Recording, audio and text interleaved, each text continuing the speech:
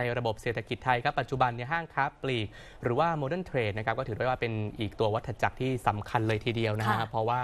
เป็นช่องทางการตลาดที่สำคัญของผู้ประกอบการขนาดกลาง และก็ขนาดย่อม หรือว่า SME นะครับในแทบจะทุกกลุ่มธุรกิจภาคเอกชนนะครับโดยสภาหอการค้าแห่งประเทศไทย และก็มหาวิทยาลัยหอการค้าไทย จึงได้จัดทำดัชนีความเชื่อมั่นผู้ประกอบการห้างค้าปลีกนะครับหรือว่า Modern Trade Index นะครับเพื่อเป็นการประเมินสถานการณ์ และก็แนวโน้มการค้าขายในอนาคต เพื่อเป็นข้อมูลให้ผู้ประกอบการได้เตรียมพร้อมที่จะปรับตัว ให้ตรงกับความต้องการของผู้บริโภคนะครับแล้วก็ยังเป็นการสะท้อนถึงกำลังซื้อของประชาชนได้อีกด้วยครับ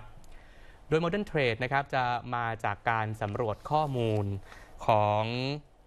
ห้างค้าปลีกนะครับ 9 รายนะครับ ได้แก่ Central Robinson Macro Big C Top Supermarket Tesco Lotus ตั้งยี่สุน Superstore CJ Supermarket แล้วก็ CPO นะครับ ซึ่งมีสาขารวมกันกว่า 12,000 สาขา หรือคิดเป็นร้อยละ 73.6 ของสาขาห้างค้าปลีกทั้งหมดที่มีอยู่นะครับกว่า 16,386 สาขา มูลค่าตลาดธุรกิจค้าส่งปลีกค้าส่งแล้วก็ค้าปลีกนะครับรวมกว่า2ล้าน4แสน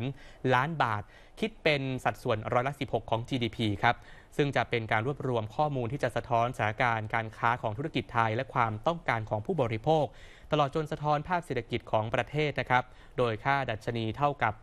100 หากเกินระดับ 50 ถือว่าปรับตัวดีขึ้นนะครับ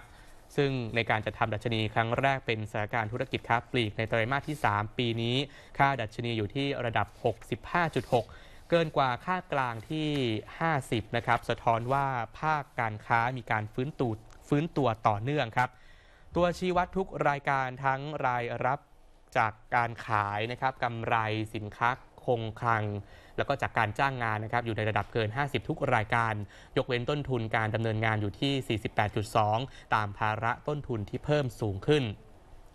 ด้านนายสุรงค์บุรกุลนะครับรองประธานกรรมการหอการค้าไทยมองว่า แนวโน้มภาคธุรกิจค้าปลีกของไทยยังสดใส